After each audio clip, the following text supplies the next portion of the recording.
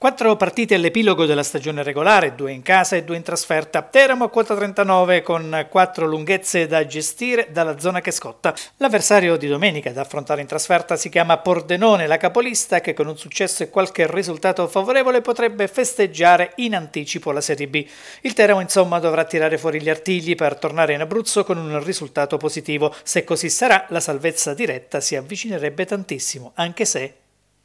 fare calcoli spesso porta fuori strada, quindi noi dobbiamo cercare di rimanere, di rimanere compatti, di rimanere sul pezzo come si dice e di affrontare una, una gara di domenica e cercare di fare, di fare punti e poi dopo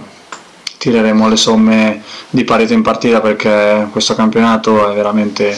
un campionato bello e, e difficile. La spinta ce lo deve far dare queste ultime prestazioni secondo me perché comunque abbiamo ritrovato uno spirito importante e quindi dobbiamo continuare e cercare di migliorare, migliorare i nostri difetti ma ecco lo spirito è quello che si, che si è visto domenica deve essere uno spirito battagliero perché una squadra che si deve salvare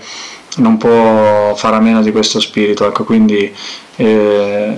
io spero, che, spero vivamente che ecco, la squadra rimanga così compatta come, come è stata in queste partite.